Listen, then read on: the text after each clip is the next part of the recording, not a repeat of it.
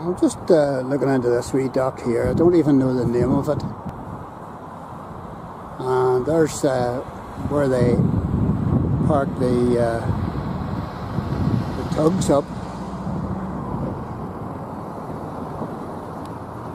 That bring in the con big containers and the big cruise ships.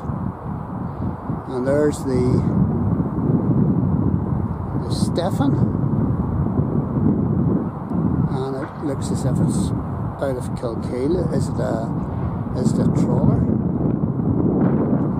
It looks like a trawler. But a very modern one. And of course there's the Stena just in behind. There's the the uh, dolphins peeping through there.